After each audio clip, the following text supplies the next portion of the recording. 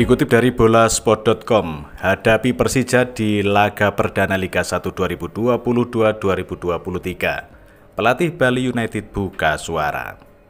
Pelatih Bali United Stefano Cugura memberikan komentarnya terkait jadwal Liga 1 2022-2023. Liga 1 2022-2023 bakal dimulai pada tanggal 23 Juli mendatang. Dalam hal ini, Bali United mendapatkan kesempatan untuk memainkan laga pembuka.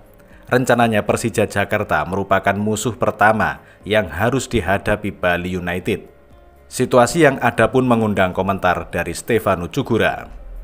Menanggapi hal tersebut, Stefano Cugura menilai banyak perubahan yang terjadi kepada Persija Jakarta.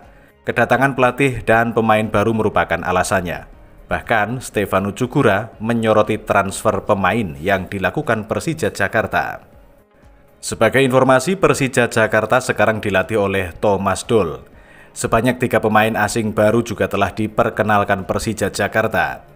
Mereka adalah Michael Kermensik, Hanno Bahrens, dan Ondrej Gudela. Banyak perubahan di Persija Jakarta, kata pria yang sering disapa Teko itu dilansir bolasport.com dari Tribun Bali. Dari pelatih baru, pemain asing baru, sama berapa pemain lokal juga baru dari skuad mereka. Mereka mendatangkan pemain asing baru dan nilai transfer mereka cukup fantastis, ujarnya.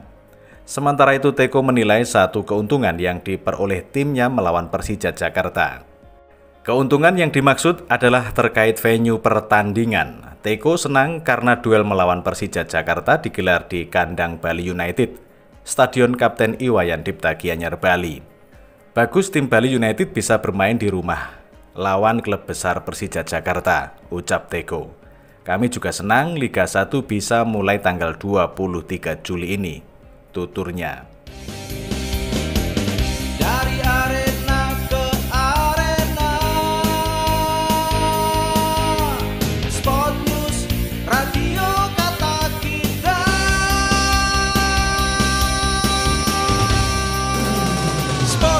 Jews